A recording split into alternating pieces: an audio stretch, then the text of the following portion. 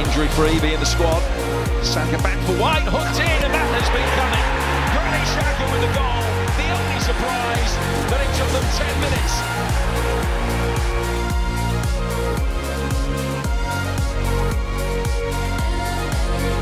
White still going, and White has it now. Another sweeping move from Arsenal, and there's Odegaard again. It's another class goal from the Gunners.